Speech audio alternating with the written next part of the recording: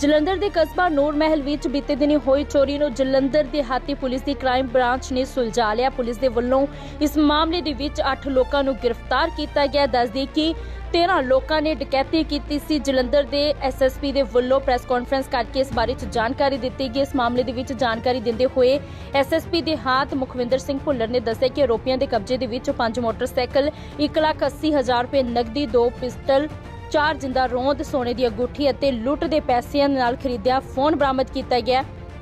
ਗ੍ਰਿਫਤਾਰ ਕੀਤੇ ਆਰੋਪੀਆਂ ਦੀ ਪਹਿਚਾਣ ਸ਼ਰਨਜੀਤ ਸਿੰਘ ਉਰਫ ਸੰਨੀ, ਜਗਜੀਤ ਸਿੰਘ ਉਰਫ ਜੱਗੀ, ਕੁਲਦੀਪ ਸਿੰਘ ਉਰਫ ਦੀਪੀ, ਜਗਜੀਤ ਸਿੰਘ ਉਰਫ ਜੱਗਾ, ਹਰਸ਼ਪ੍ਰੀਤ ਸਿੰਘ ਉਰਫ ਹਨੀ, ਜਸਮੀਤ ਸਿੰਘ, ਰਾਜਦੀਪ ਸਿੰਘ, ਜਮਸ਼ੇਰ ਅਤੇ ਜੁਵਰਾਜ ਸਿੰਘ ਵਜੋਂ ਹੋਈ ਹੈ। ਐਸਐਸਪੀ ਮੁਖਵਿੰਦਰ ਸਿੰਘ ਭੁੱਲਰ ਨੇ ਪ੍ਰੈਸ ਕਾਨਫਰੰਸ ਦੌਰਾਨ ਦੱਸਿਆ ਕਿ 29/5/2023 ਨੂੰ ਉਹਨਾਂ ਨੂੰ ਸ਼ਸ਼ੀ ਭੂਸ਼ਣ ਦੇ ਵੱਲੋਂ ਸ਼ਿਕਾਇਤ ਦਰਜ ਕਰਵਾਈ ਗਈ ਸੀ ਕਿ ਦੁਕਾਨ ਦੇ ਵਿੱਚ ਦੁਪਹਿਰ ਦੇ ਸਮੇਂ ਜਦੋਂ ਖਾਣਾ ਖਾਣ ਲਈ ਘਰ ਗਏ ਸੀ, ਤਾਂ ਇਸ ਦੌਰਾਨ ਉਹਨਾਂ ਦੀ ਗਲੀ ਦੇ ਵਿੱਚ ਬਿਨਾਂ ਨੰਬਰ ਤੋਂ ਦੋ ਮੋਟਰਸਾਈਕਲ ਖੜੇ ਸੀ ਅਤੇ ਉਹਨਾਂ ਦੇ ਘਰ ਦਾ ਦਰਵਾਜ਼ਾ ਅੰਦਰ ਤੋਂ ਬੰਦ ਸੀ, ਜਿਸ ਦੌਰਾਨ ਉਸਨੇ ਜਦ ਘਰ ਜਾ ਕੇ ਦਰਵਾਜ਼ਾ ਖਟਕਾਇਆ ਤਾਂ ਘਰ ਦੇ ਅੰਦਰ ਅਣਜਾਣ ਵਿਅਕਤੀ ਸੀ, ਜਿਨ੍ਹਾਂ ਦੇ ਵਿੱਚੋਂ ਇੱਕ ਨੇ ਉਸ ਨੂੰ ਪਿਸਤੌਲ ਦਿਖਾਈ ਅਤੇ ਬਾਕੀ ਸਾਥੀ ਸਮਾਨ ਲੁੱਟ ਕੇ ਫਰਾਰ ਹੋ ਗਏ।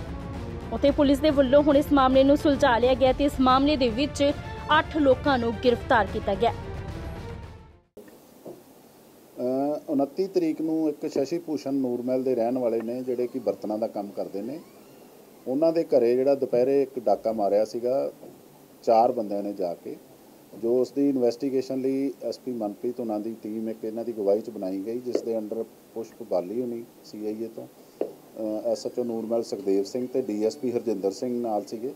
ਇਹਨਾਂ ਨੇ ਬੜੀ ਮਿਹਨਤ ਕਰਕੇ ਜਿਹੜਾ ਸਾਰੀ ਟੀਮ ਨੇ ਜਦੋਂ ਸਾਰੇ ਕੇਸ ਨੂੰ ਕ੍ਰੈਕ ਕੀਤਾ ਤਾਂ ਉਸ ਤੋਂ ਪਤਾ ਲੱਗਿਆ ਵੀ ਇਹ ਸਾਰੀ ਵਾਰਦਾਤ ਨੂੰ 13 ਬੰਦਿਆਂ ਨੇ ਰਲ ਕੇ ਅੰਜਾਮ ਦਿੱਤਾ ਸੀਗਾ। ਜੋ ਇਹਨਾਂ 13 ਬੰਦਿਆਂ ਦੇ ਵਿੱਚੋਂ 8 ਬੰਦੇ ਜਿਹੜੇ ਆ, ਉਹ ਅਸੀਂ ਅਰੈਸਟ ਕਰ ਲਏ ਨੇ। ਉਹਨਾਂ ਦੀ ਅਰੈਸਟ ਪਾ ਲਈ ਹੈ ਔਰ ਉਹਨਾਂ ਦੇ ਲੁੱਟੇ ਹੋਏ 470000 ਦੇ ਵਿੱਚੋਂ 180000 ਰੁਪਈਆ ਜਿਹੜਾ ਗਹਿਣਾ ਇਹਨਾਂ ਨੇ ਲੁੱਟਿਆ ਸੀਗਾ, ਉਹ ਉਹਨਾਂ ਦੇ ਵਿੱਚੋਂ ਇੱਕ ਗਗਨ ਨਾਂ ਦਾ ਬੰਦਾ ਜਿਹੜਾ ਉਹ ਸੇਲ ਕਰਨ ਲਈ ਲੈ ਗਿਆ ਸੀਗਾ, ਜੋ ਹਜੇ ਸਟਿਲ ਵਾਂਟਡ ਹੈ, ਫੜਨਾ ਉਹਨੂੰ। ਉਹਨੇ ਸਾਰਾ ਗਹਿਣਾ ਸੇਲ ਕਰਕੇ ਇਹਨਾਂ ਨੂੰ ਪੈਸੇ ਬਰਾਬਰ ਡਿਵਾਈਡ ਕਰਨੇ ਸੀ। ਉਸ ਤੋਂ ਇਲਾਵਾ ਦੋ ਇਹਨਾਂ ਕੋਲੋਂ ਪਿਸਟਲ, ਪੰਜ ਮੋਟਰਸਾਈਕਲ ਔਰ ਇੱਕ ਜਿਹੜਾ ਲੁੱਟ ਦੇ ਪੈਸੇ ਨਾਲ ਮੋਬਾਈਲ ਜਿਹੜਾ ਇਹਨਾਂ ਨੇ ਖਰੀਦਿਆ ਸੀਗਾ, ਅਸੀਂ ਉਹ ਬਰਾਮਦ ਕਰ ਲਿਆ।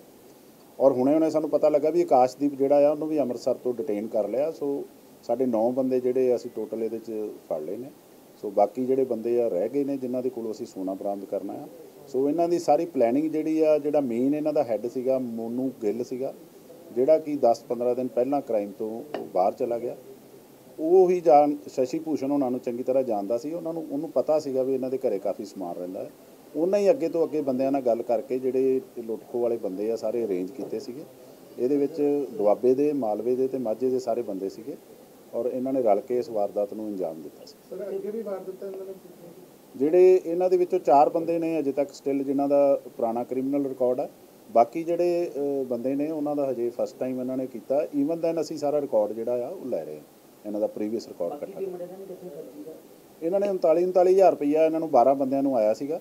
ਔਰ ਵਿੱਚੋਂ ਉਹਨਾਂ ਨੇ ਕੁਝ ਬੰਦੇ ਅਜੇ ਫੜਨ ਵਾਲੇ ਰਹਿੰਦੇ ਆ ਕੁਝ ਇਹਨਾਂ ਨੇ 5-7000 ਰੁਪਈਆ ਖਰਚਿਆ ਕੁਝ ਇੱਕ ਫੋਨ ਬਰਾਮਦ ਹੋਇਆ ਵੀ 25000 ਦਾ। ਬਾਕੀ ਜਿਹੜੇ ਬੰਦੇ ਫੜੇ ਜਾਣਗੇ ਉਹਨਾਂ ਤੋਂ ਵੀ ਸਾਰਾ ਬਰਾਮਦ ਇਹ ਵੈਪਨ ਬਾਰੇ ਅਸੀਂ ਪੁੱਛਗਿੱਛ ਕਰ ਰਹੇ ਹਾਂ ਜੀ। ਹਾਂਜੀ। ਪੇਸ਼ ਕਰ ਪੇਸ਼ ਕਰਨਾ। ਪੇਸ਼ ਕਰਨਾ ਅਜੇ ਕੋਰਟ ਦੇ ਵਿੱਚ।